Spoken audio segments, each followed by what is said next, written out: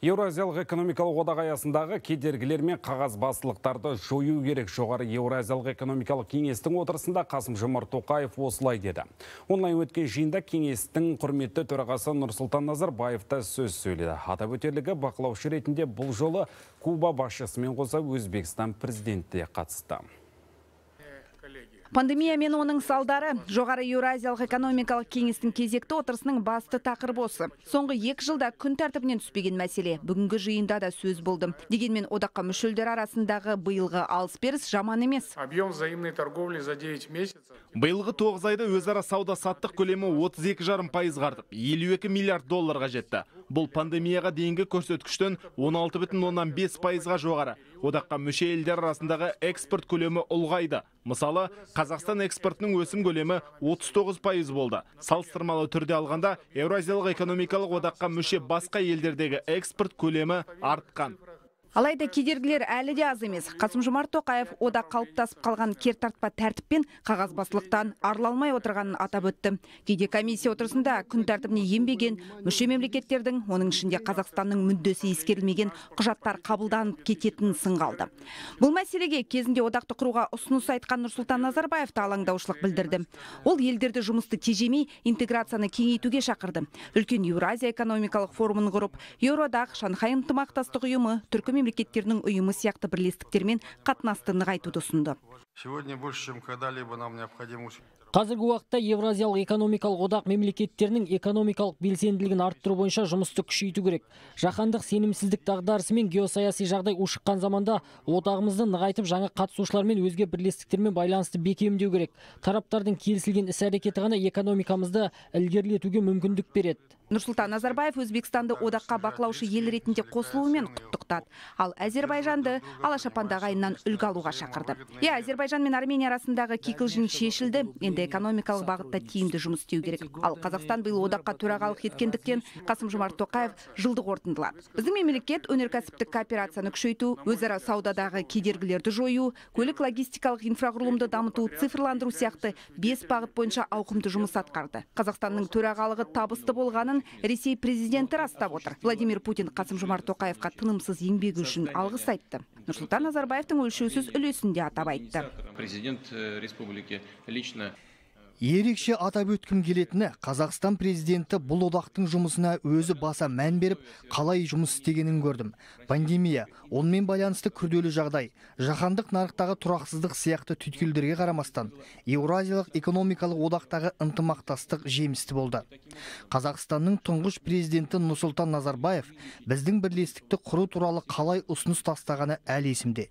Телефон арқылы сөйлесіп, Қазақстанның алған бағытын айқындап берді осылайша қазақстан үшін де ресей үшін де интеграциялық байланыс орнатуға басымдық беру туралы келістік Карантиндік шектеулер цифрлық өнім мен электронды қызметке сұранысты арттырды. Қасым Жомарт Тоқаев әлемдік машина жасау нарығында микрочиптер мен компьютерлік құралдардың тапшылығына қатысты жүйе жиі істен шығатынына тоқталды. В этой связи предлагается поручить Осыған байланысты үкіметтерімізге ғылыми зерттеу институттарын қатыстыра отырып, машина жасау саласы үшін микрочиптер мен компьютерлік құралдар шығару жөніндегі бірлескен кооперациялық жобаларды жүзеге асыру мәселесін пысықтауды тапсыру ұсынылады.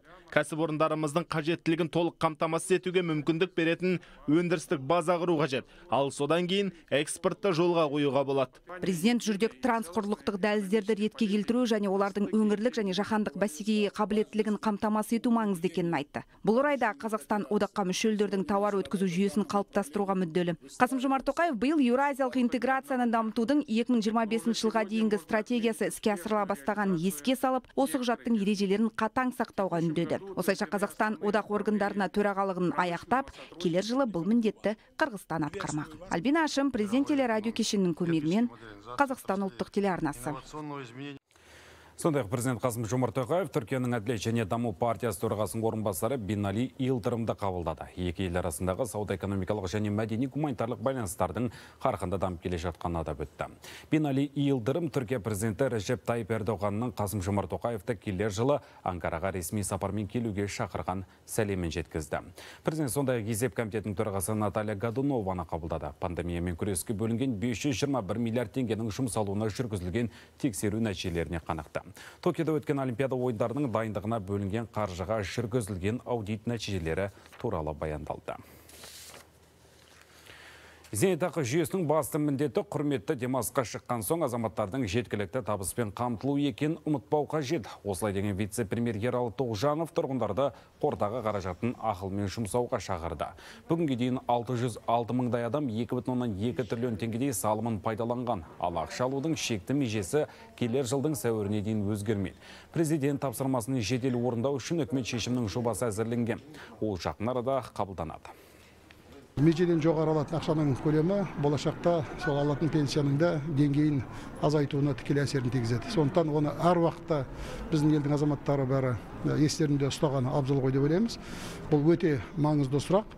Аса мұқтаж жағдайда денсаулығына байланысты сұрақтар үй алу мысалға өте қиын жағдай болатын болса сол жағдайда ғана пайдаланып соның бәрін ескергеніміз дұрыс. Сондықтан мүмкіндікті жолымен ақылмен біздің елдің азаматтары солай пайдаланады деп ойлаймыз. Өзге де жаңалықтар Қызылорда облысына жеке компаниялардың қаражатын жалған құжат жасау арқылы қолма-қол ақшаға айналдырып келгендер ұсталды. Олар 2 миллиард теңгеге жуық қаржыны заңсыз айналымға шығарған. Осылайша салықтан жалтар мемлекетке 500 миллион көлемде залал келтірген. Пысықайлардың бұл қызметі үшін жалпы сомадан 4 пен 6 пайыз мөлшерінде сыйақы алғанында белгілі болды. Күдікке үйін тінту барысында жалған есеп құжаттары табылды. Бұл іске қатысы бар 5 адам ұсталып, қылмысы толық дәлелденді. Жалпы жыл басынан бері осында екі дерек әшкере болған. Ал Түркістан облысында 960 тонна АИ 92 маркалы бензинді заңсыз жолмен Қырғызстан асырмақ болғандар ұсталды. Олар цистерналарға құйылған жанармайды Манкен станциясы арқылы газ конденсаты деп көрсетіп өткізуге әрекеттенген. Тәркіленген бензиннің жалпы сомасы 229 миллион теңге. Тергеу жүріп жатыр. Күні кеше ғана Түркістан облысында бірнеше күннен бері жанар жағар май тапшы екендігін. Май құю бекеттерінде ұзын сонар кезек қалыптасқанын айтқан едік. Бензин мен дизель отыны мүлдем болмай қалған. Барлары тек талонмен берген. Ал бүгін жағдай реттелді. Ақтөбеде ешқандай құжаты жоқ БТР-60 әскери техникасы табылды. Полицейлер әскери көлікке Россовхоз ауылы маңдағы карьер аумағында тап болған. Техника кәсіпорын инженеріне тиесілі болып шықты. Ер адам біраз жыл бұрын оны сатып алғанын айтқан. Полиция департаментінің мәліметінше БТР-де қару жарақ қондырғылары болмаған. Қазір тексеру жүріп жатыр. Ақмола облысы қайтадан сараймаққа өтті. Питақвалды бағалау матрицасы бойынша қызыл аймақта ешбір өңір жоқ. Сараймақтан Нұрсұлтан қаласы мен Ақмола, Қарағанды, Павлодар, Қостанай, Солтүстік Қазақстан облыстары. Жасыл аймақта Алматы, Шымкент қалалары мен Атырау, Ақтөбе, Алматы, Батыс Қазақстан, Түркістан, Жамбыл, Қызылорда, Маңғыстау, Шығыс Қазақстан облыстары. Айта кетейік Ақмола облысы кеше қызыл аймақта болған еді.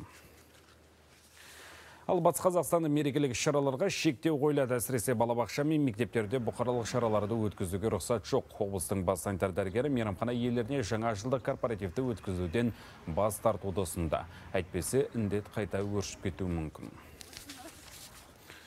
Жағанан бірер хабар ақышта 16-17 жастағы жеткіншектерге коронавирусқа қарсы вакцинаның үшінші дозасын салуға рұқсат берілді. Pfizer екпесі екінші компонентті қабылдағаннан кейін жарты жыл өткенде егіледі. Жастар иммундау ковидтің омикрон штамын таратпау бағдарламасы аясында қолға алынды. Вирус ақышта жүзге жоқ адамнан анықталды. Оны жұқтырғандар тіпті көбеюі мүмкін. Елде 4,7 миллиондай жасөспірім толық вакциналған. Дегенмен ғалымдар екпе жастардың жүрегіне кері әсер етуі мүмкін деп алаңдап отыр Ал өзіміздің шығыс Қазақстанда қатты аязға байланысты мектептерде сабақ тоқтатылды. Кей аудандарда термометр көрсеткіші минус 37 градусқа дейін жеткен. Сол себепті ауыл мектептерінің көпшілігінде бірінші ауысымдағы сабақтар болмады. Ол туралы төтенше жағдайлар қызметі әлеуметтік желілерде хабарлады. Ал қыс басталғалы шығыс Қазақстан облысында көктайғаққа байланысты да мектептерде бірнеше рет сабақ қашықтан оқу форматына көшірілген еді.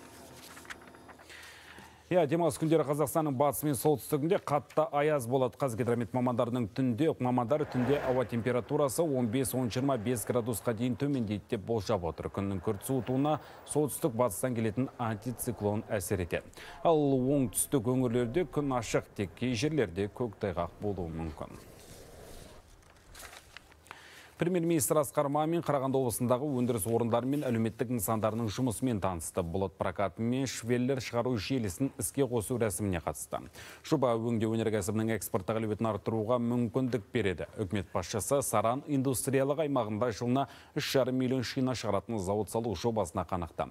Тәуелсіздік күніне орай ауыл шаруашылығы және өнеркәсіп кәсіпорындары жұмысшыларына білім, денсаулық сақтау, мәдениет саласы қызметкерлеріне және кәсіпкерлерге мемлекеттік наградаларды табыстады бүгін біздің елімізде ерекше күн тәуелсіздігіне 30 жылдық.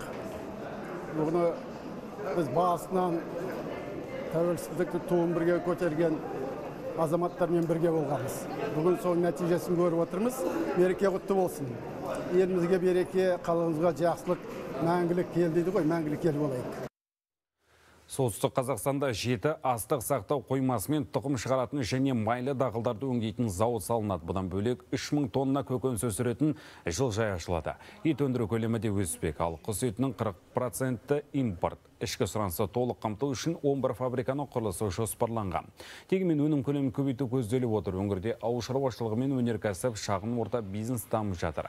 Шығарылған өнім көлемі 770 миллиард теңгеден асты республика бойынша 29 сүт кешені салынуда. Оның жартысы біздің облысымызда. Биыл 16 ферманың құрылысы басталды. Соның оны, оны жылдың аяғына дейін іске қосылады. Тек осы фермаларда 500 жаңа жұмыс орын ашылады. Жаңа фермалар қосымша 45 мың тонна өнім бермек. Осы жобалардың арқасында бір жылдың ішінде сүт өндіру көлемі 598 мыңнан 630 мың тоннаға дейін өседі Облыста тұрғын үй салуға да басымдық берілген 5 жылда 2,3 миллион шаршы метр баспана тұрғызамыз деген жоспар бар. Петропавлда 1,7 мыңнан аса ескі және апатты үйлер бұзылған. Қазір 53 көп қабатты үйдің құрылысы жүріп жатыр. Бұл 3,5 мыңдай пәтер. Қазақстанда жүргізуші куәлігін алу талаптары күшейді. Азаматтарға арналған үкімет мемлекеттік корпорациясы куәлік алу сынағындағы жаңа жүйені таныстырды. Бұған дейін куәлікті сатып алу жағдайлары анықталған. Сол себепті корпорация емтихан барысын қатаң бақылауға алды. Теориялық емтихан тапсыру кезеңе биометриялық жүйе іске қосылды. Сынақ барысы арнайы бақыланады. Нұрсұлтанда жыл басынан 1989 адам жүргізуші куәлігін алуға өтініш берген. Басым бөлігі сынақта тапсыра алмады. Тек 99 адам емтиханнан сәтті өтіп куәлігін алды. Зейнетақ қорындағы қаржының бір бөлігін келесі аптада отбасы банкіндегі депозитке аударуға болады. Бұл тұрғын үй нарығына қалай әсер етпек кезек экономика жаңалықтарында Қайлгеш Досжан Кеш жарық Шерхан, сарапшылар бұл бағаның кезекті рет өсуіне түрткі болуы мүмкін деп отыр. Алда ашып айтамын.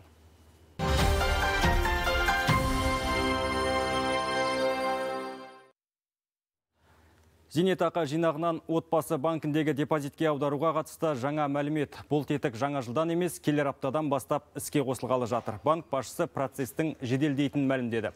Яғни депозиттерді толтыру батырмасы 16 желтоқсаннан пайда болады. Қазақстандықтардың бір жолға зейнетақы төлемдерін үйінде отырып ақ отбасы банк депозиттеріне аударуына мүмкіндік жасалып отыр. Ол үшін жүйе демалыс күндері де жұмыс істемек. Тек ақпараттық қауіпсіздік мақсатында платформа қазақстандық IP мекенжайларда ғана қолжетімді болмақ.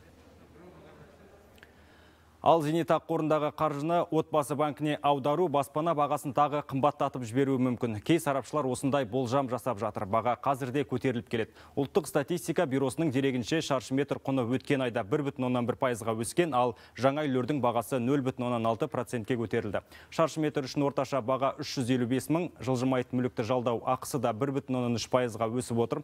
Ал жыл басына берге көрсеткішті айтсақ, жаңа үй 11,5 қолданыста болғандар 23 жалдау ақысы 13 процентке көтерілген.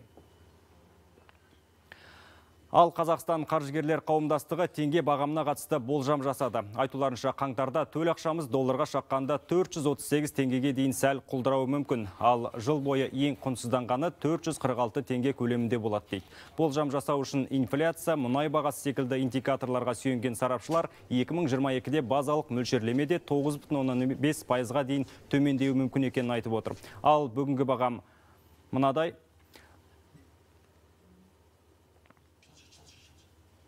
Ал бүгінгі бағам мынадай доллар 434 теңге 40 дейін, евро 493 рубль 5 теңге 90 дейін. Ал алдағы мерекелерге орай азық-түлік бағалары қатаң бақылауға алынып жатыр. Мәселен, бас қалада негізсіз қымбатшылыққа жол бермеу үшін арнайы комиссия жұмыс істеп жүр. Оның құрамына монополия қарсы және тұтынушылардың құқығын қорғау мекемесінің қызметкерлері мен экономикалық тергеушілер кіреді. Олар тауар сөреге жеткенше баға қалай қосылғанын толық тексермек. Қазір құнды негізсіз өсіру бойынша ондаған дерек анықталған. Оларға қандай шара қолданылатынын комиссия отырысында айтылмақ. Елордадағы экополигонда Литва мен Колумбиядан импортталған 13 мыңнан аса гүл мен түрлі көкөністер өртелді. Тауарды елге келген кәсіпкерлер өсімдік карантині талабын сақтамағанын айтып отыр. Оларды тексеру кезінде бірнеше вирусан табылған. Зертхана қорытындысы сотқа жолданып, талапқа сай келмейтін тауарды арнайы пеште өртеу арқылы жою жүргізілді. Шығын көлемі бірнеше миллион теңге. Экономика жаңалықтары осындай. Шерхан. Рахмет Досжан, біз жалғастырамыз.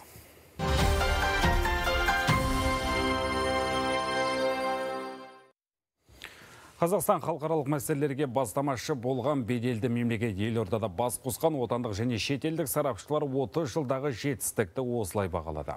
Еліміздің Еуропадағы қауіпсіздік және ынтымақтастық ұйымына төрағалық етуі Орта Азия елдері ішінде алғашқы болып, біріккен ұлттар ұйымы қауіпсіздік кеңесіне тұрақты емес мүше болғаны соның айғағы.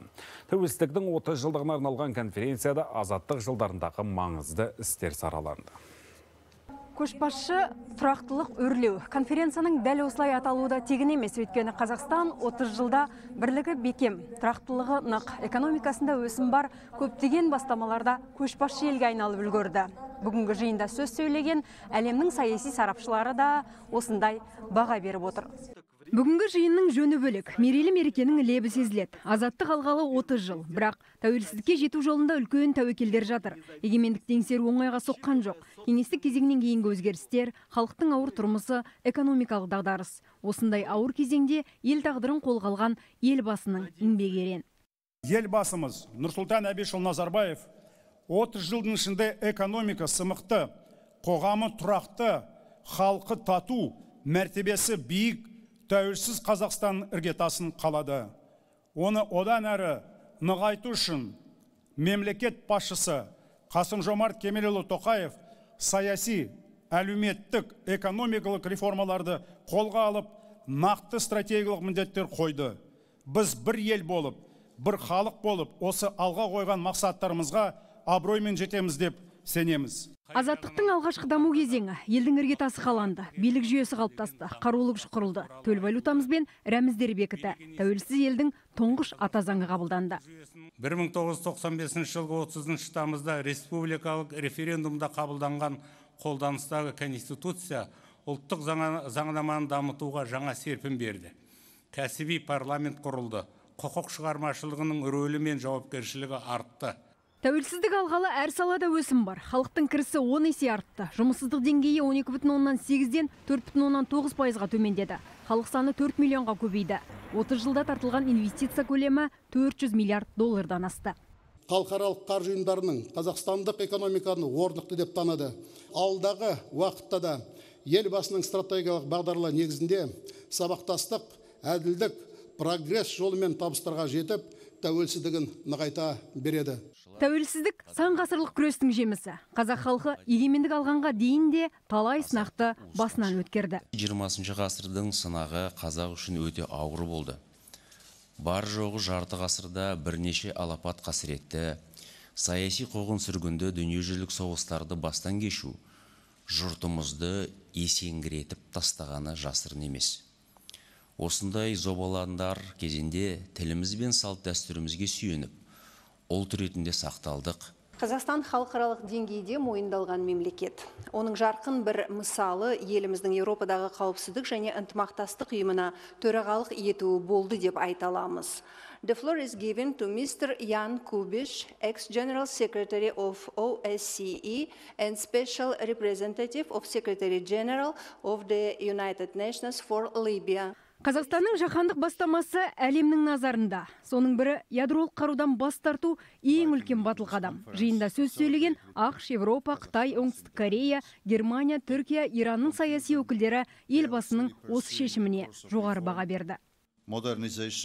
Қазақстан ядролық қарудан бас тартып қарусыз әлем идеясын ұсынды. Діни экстремизм мен терроризмге қарсы бастамалар көтерілді. Заманауи тәуелсіз елді қалыптастыру оңай емес. Бұл қолдарыңыздан келді. Көптеген сарапшылар бұған күмән келтірген еді. Тұңғыш президенттің қажырлы еңбегінің арқасында қазақстан жаңа реформалардың жемісін көріп жатыр. Елбасы мен егемендік егіз ұғым тұңғыш президенттің тәуелсіздік жолындағы еселі еңбегі әлемге үлгі жиынға қатысқан түркия жазушысы курчат зорлы елбасының еңбек жолына арналған кітап жазды Менің кітабымның аты ә, Ұлы даланың жеті ә, Назарбаев көк, көкбасшылығы. Назарбаев ә, tek қана Қазақстан үшін емес, Türkiye, бүкіл için öte manızlı bir lider. Tavsizlik e, Nazarbayev'in e, жұмыстарында, айдияларында ең маңызды фактор.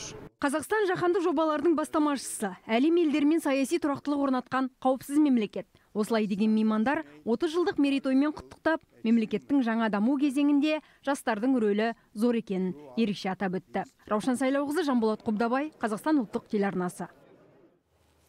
Түркістанда тәуелсіздіктің 30 жылдығына орай тұғырлы бол тәуелсіздік атты шара өтті. Оған мемлекеттік хатшы Қырымбек Көшербаев қатысып, жаңа дәуірге аяқ басқан Қазақстанның бағындырған белестері жайлы айтты.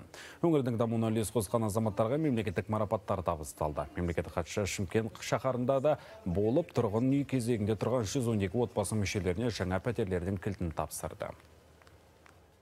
Тәуелсіздік бұл асыл ұғым халқымыздың асыл арманы мен үкілі үміті тәуелсіздіктің бір үлкен қуанышты сәтінде қоныс тойдың болып жатқаны өте үлкен қуаныш. Бұл ол да мына тәуелсіздіктің арқасында болып жатқан халықтың ауызбіршілік ынтымағының арқасында болып жатқан жай. Қоныстарыңыз құтты болсын. Жаңа қоғамдық көліктерде тапсырылды. 12 бағытта қатынайтын 240 автобус пайдалануға берілді. Мерекелік жиында елге еңбегі сіңген азаматтарға мемлекеттік наградалар мен төс белгілер табысталды. Олардың қатарында еңбек ардагерлер мен ақын жазушылар, көше тазалаушылар мен педагог тәрбиешілер де бар. Дәнекелеуші мен теміржолшы, учаскелік инспектор мен паралимпиада спортшысы да ерекше құрметке бөленді. Сол қиын кезінде жаңағы егемендік алған кездегі қиындықтардың бәрін біз басымыздан кешіріп маған мына парасат орденін беріп отыр сол үшін қуанып отырмын. Сондықтан парасатымыз жоғары болсын еліміз күшейе берсін. Ел тәуелсіздігінің 30 жылды қарсаңда алматылық 130-ға жуық азаматқа мемлекеттік наградалар табысталды. Мегаполистің өсіп өркендеуіне өлшеусіз үлес қосқан белсенді тұлғаларды сенат төрағасы Мәулен Әшімбаев марапаттады. Салтанатты жиында шаһар басшысы Бақытжан Сағынтаев сөз сөйлеп, Алматы қаласының ұлт тәуелсіздігі жолындағы айрықша орнын атап өтті. Сенат төрағасының қолынан мерекелік марапат алғандардың бірі Үміт Босманова 1986 жылы алаңға шығып қайсарлығын көрсеткен желтоқсан қарлығаштарының бірі. Айтуынша егемендік үшін күрескен ержүрек ұл қыздардың ерлігі ұмытылмай өскелең ұрпаққа өнеге болды. Жастарға айтатыным рухтары мықты болсын. Осылай патриоттық нені жүргізіп алға қарай жүрсін. Оларға біз сенеміз. Салтанатты шарада Алматының дамуына сүбелі үлес қосқан 130-ға жуық азамат марапатталды. Түрлі саланың майталмандарына барыс, парасат, құрмет ордендері берілді. Президентіміз біреу, халқы тіреу қазір. Сондықтан да мәңгілік тәуелсіздік үшін ұлт болып үйісіп, ұлт болып күресуіміз керек. Марапаттарды мемлекет басшысының тапсырмасымен сенат төрағасы Мәулен Әшімбаев алматылықтарға өзі арнайы келіп табыстап отыр. Бұл ел үшін аянбай еңбек еткен әр азаматқа деген құрмет болса керек. Тәуелсіздіктің 30 жылдығы еліміз үшін маңызды меже айтулы белес. Қазақстан бұл кезеңге ірі жетістіктермен жетіп отыр. Ал ендігі міндет барымызды бағалап, жеңісті жолымызды жалғау. Ол үшін татулығымыз берік, бірлігіміз бекем, тірлігіміз тиянақты болуға тиіс. Алматы қай кезде де ұлттық рухтың жалауы болған шаһар. Алда уақытта да елімізді дамыту жолында бәріміз жұмылып, нәтижелі еңбек ете береміз деп сенемін. Азаттықтың тарихы асқақ Алматыдан бастау алады. Осылай деген Бақытжан Сағынтаев та мәртебесі биік мерейлі мерекемен құттықтап өтті. Алда келе жатқан тәуелсіздік күні мерекесін біз ерекше асқақ сезіммен қарсы алып отырмыз. Өйткені Қазақстан Республикасының тәуелсіздігі күні біз үшін мемлекетіміздің мызғымас беріктігі мен тұтастығын татулығы мен шайқалмас шаңырағының биіктігін дәлелдейтін ұлы күн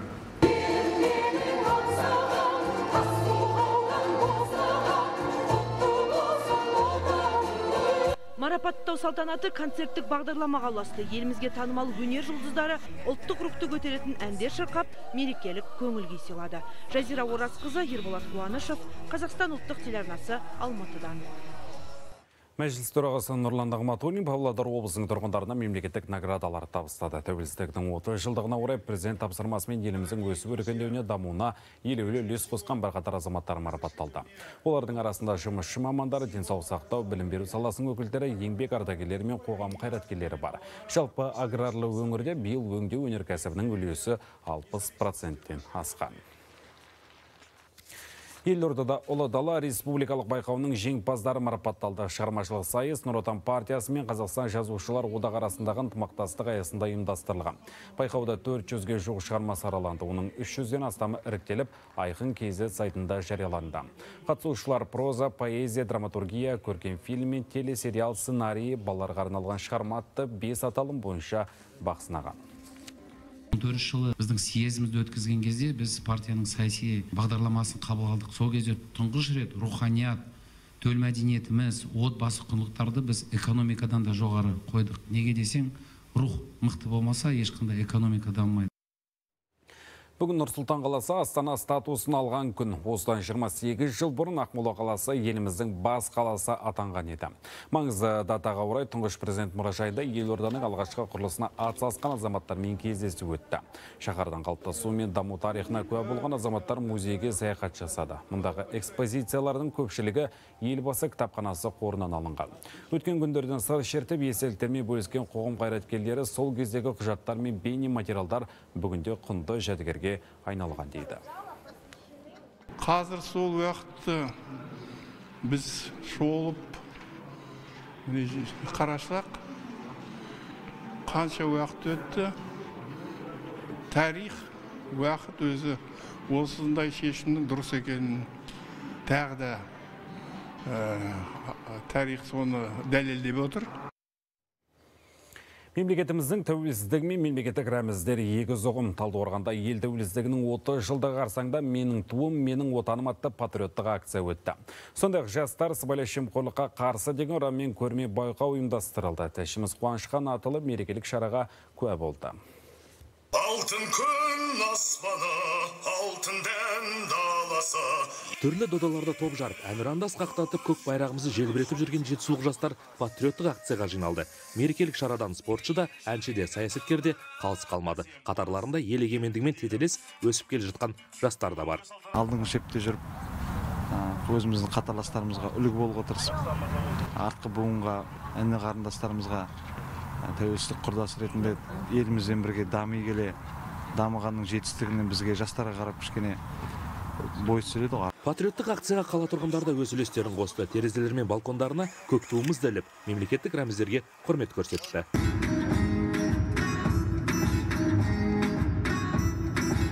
Ал көрме павильонында қала жастары өздерінің сыбайлас жемқорлыққа қарсымыз деген көзқарастарын білдіруге тырысты. Қиялына ерік берген олар бұл індеттің қасіретін суретпен де мүсінмен де ән бимен де жеткізді.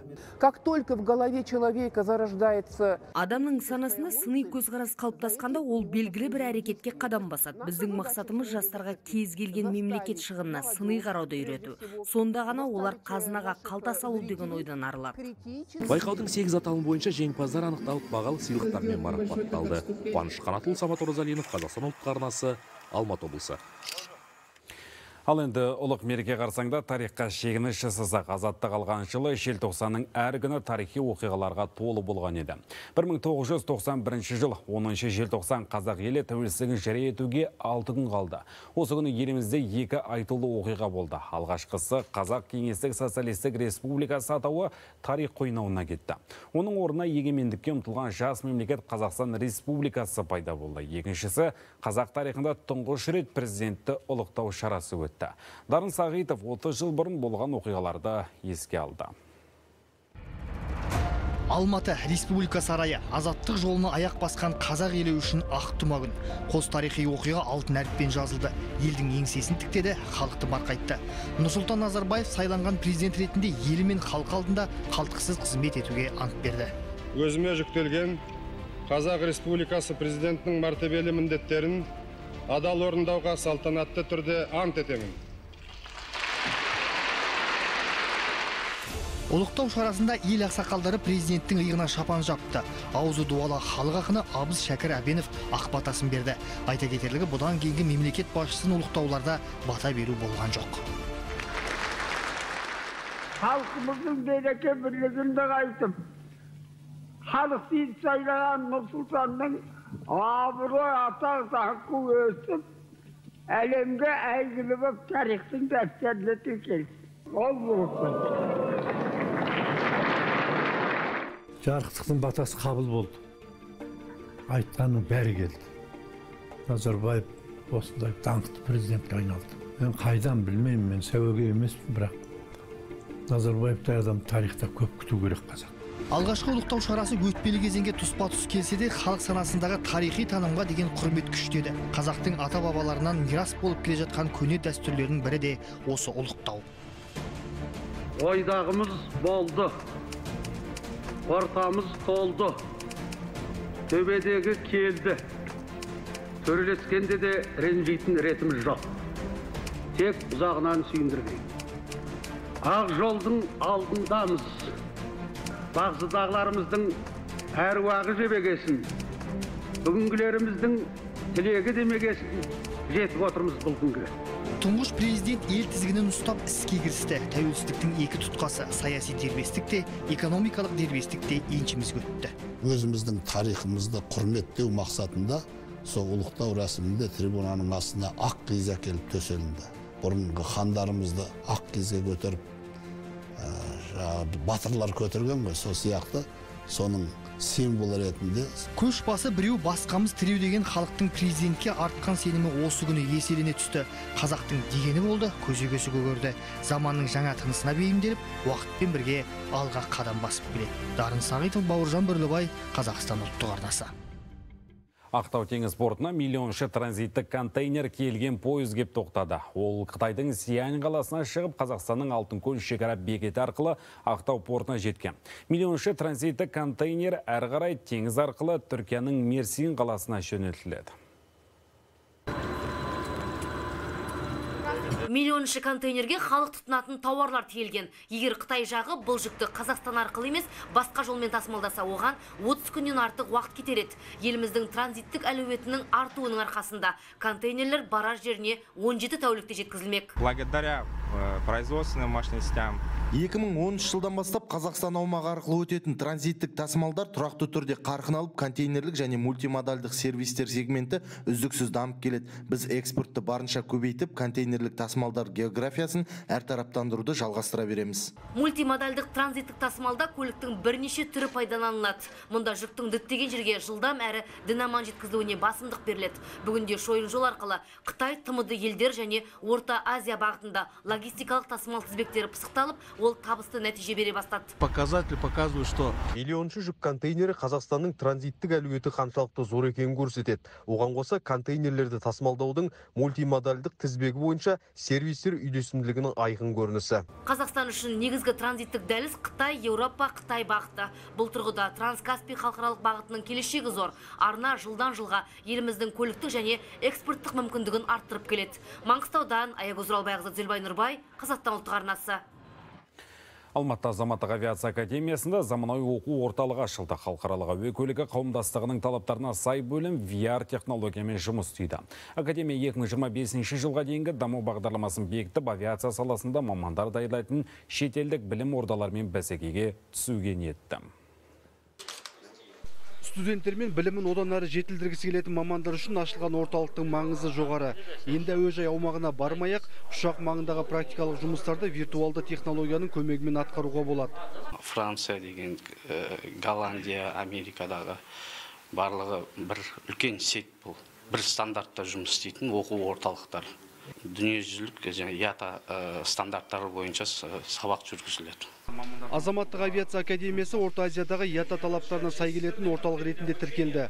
Оқу орнының дәріс беретін екі маманы халықаралық қауымдастықтың курсынан өтіп сертификат алды. Ертеңгі күні біздің азаматтық авиацияның істеп жатқан ісінің жаңағы жолаушыларға қызметін жоғарғы деңгейде көрсетеді деген біздің мамандардың сондай жетістікке жетеді деген көзқарасымыз бар. Сол талаппен біз өзіміздің жоспарымыз бойынша осындай күрделі жұмыстар атқарып жатырмыз. Академияның иата центрі барысында үш тақырып бойынша студенттерге оқу беріледі. Оның ішінде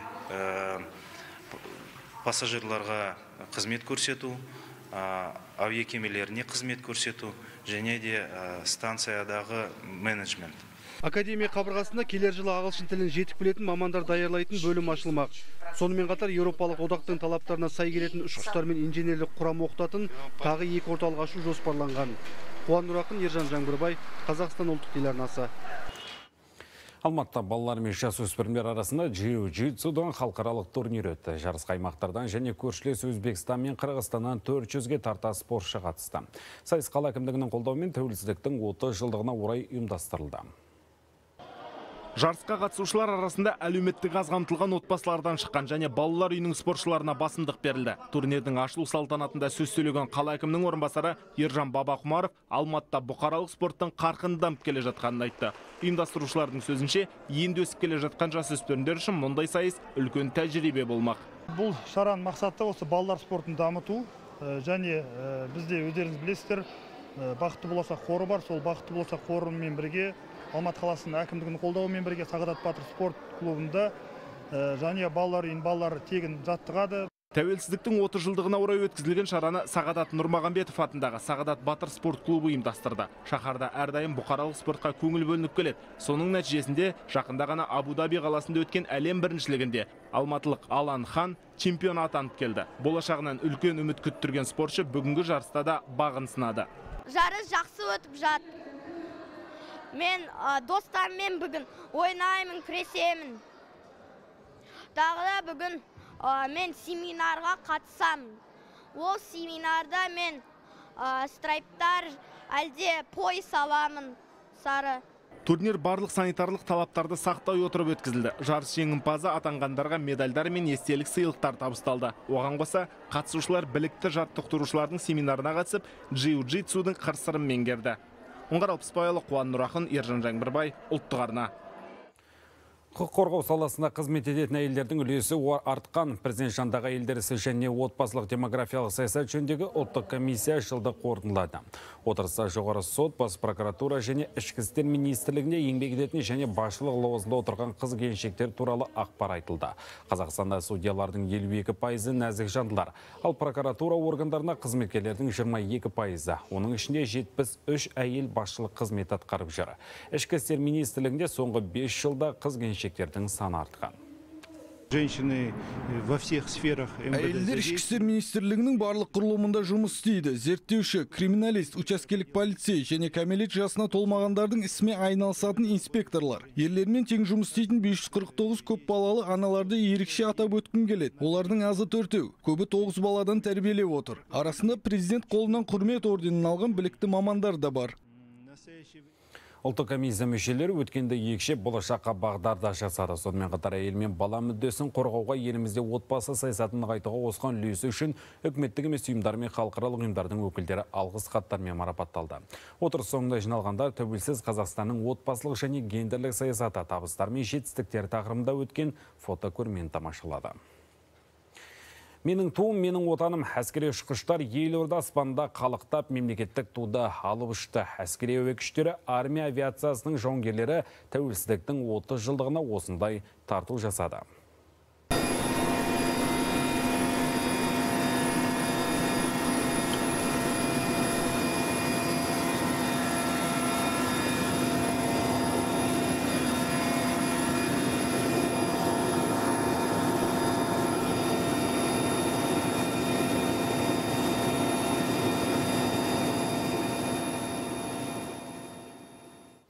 Иә, көк туымыз әрдайым биікте желбіресін. Бүгіндік айтарымыз осы. Келесі эфирде жүздескенше аман сау болыңыздар.